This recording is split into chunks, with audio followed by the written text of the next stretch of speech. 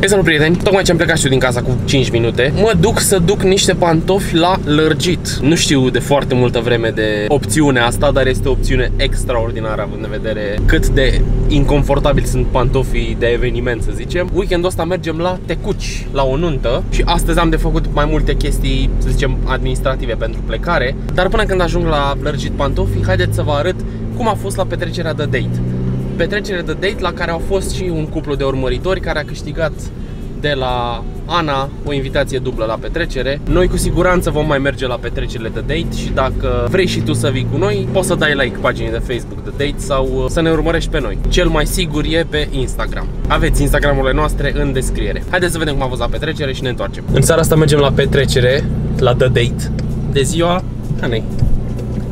Da? Mergem și noi și Horia și un cuplu care a câștigat giveaway la tine pe Instagram, nu? Da. V-am zis și la mine pe Instagram să intrați la Insta- pe Instagram Anei să câștigați uh, invitația la The Date, să veniți cu noi la petrecere și uite că un cuplu a câștigat. Vrei să zici ceva? Nu.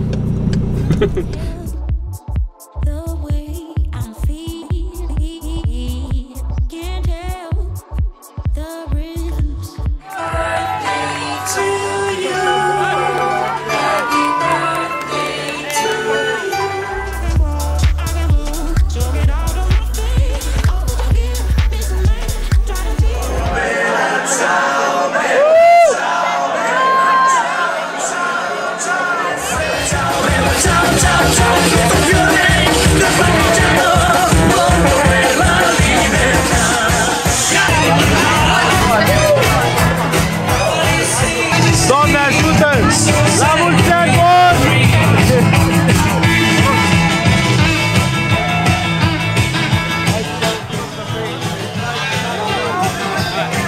Oh, cât de bine arată camera asta! Și filmează! Excelent! Sărac! Sărac!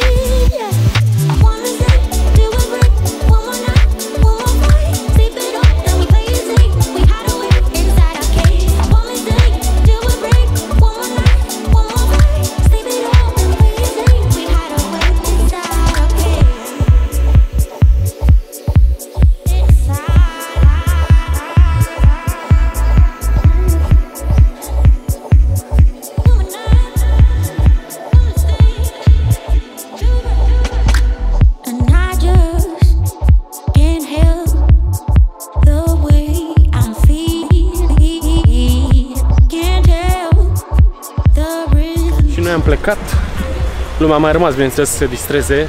Cred că petrecerea ține până când răsare soarele, nu știu dacă dă pe cineva afară. Este o ocazie specială în care am băut amândoi. Da, nu mai băut de 100 Noroc că de suntem ani. cu Horia, șoferul nostru de astăzi, care el face fitness, nu poate să bea. Poftiți! Da, nu poate să bea.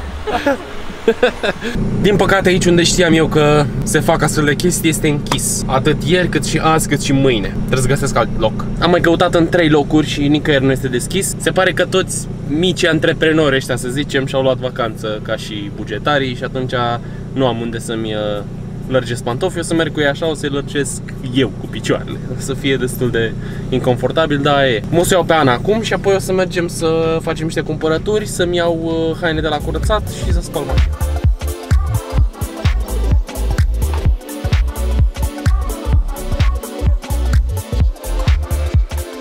Și am ajuns acasă, după cum v-ați dat seama, n-am mai fost să spăl mașina, pentru că, sincer, mi-e lene. Ana a plecat uh, la un salon să facă niște chestii, nu știu exact ce. Nu e chiar aria mea de expertiză, așa că și eu mă apuc să îmi pun toate echipamentele pe care le au la mine, să-mi fac un pic de bagaj și mașina o voi spăla mâine dimineață când plecăm către Tecuci. Cam atât pentru astăzi. Nu uitați să vă abonați dacă n-ați făcut-o deja, să lăsați un like dacă vă place ceea ce fac, să dați share, să vă dați prietenii voștri și ne vedem mâine.